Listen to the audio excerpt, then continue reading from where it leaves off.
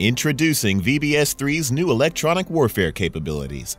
These new capabilities simulate and visualize radio frequency propagation so commanders can learn how to understand and control the virtual electronic spectrum.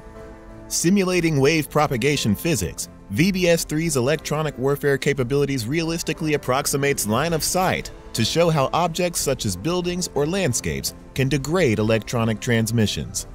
With these new capabilities, VBS-3 simulates transceivers, transmitters, receivers, direction finders, scanners, and jammers.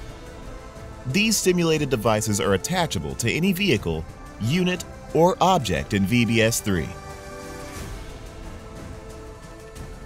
Adjust frequencies, volume, antenna type, and more in VBS-3. Visualize the transmission signal strength and signal reflections off objects with directional and omnidirectional antennas in 2D and 3D views. For mission planning, VBS-3's electronic warfare capabilities provide valuable insight for officers when identifying optimal areas of transmission coverage.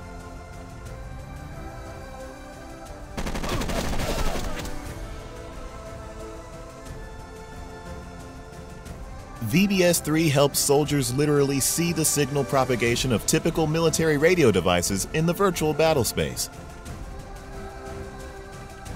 Electronic warfare training is vital for today's warfighters.